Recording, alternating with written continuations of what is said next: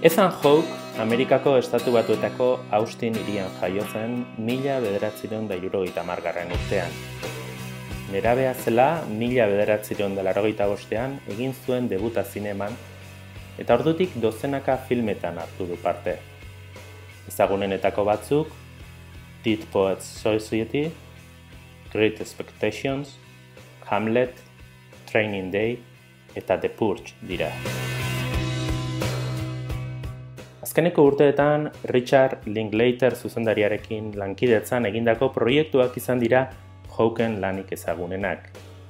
Boyhood laudatu eta txalotuan, rol garrantzitsua antzestu zuen eta Oscar sarietarako hautagaitza ekarri zion lanak gizonezko aktore honenaren sailean. Orduko hartan, zortzigarren aldiz jardun zuen Linklaterrekin batera.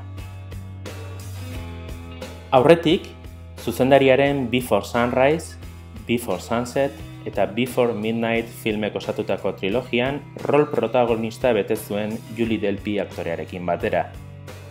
Saileko azken bi pelikuletan gainera gidoilari lanak egin zituzten Hawkek eta Delpik, Inglaterrekin batera. Hawkek gainerakoan idazle gisa ere jardun du eta lau eleberri ditu argitaratuak. Donostiako zinemaldian, Antoine Fuquak zuzendutako The Magnificent Seven filma aurkeztuko du Hawkek, izen bereko mila bederatzerion da irurogeiko film ezagunaren remeika da pelikula, eta Veneziako zinemaldia itxi ostean, iritsi da gaur Donostiara.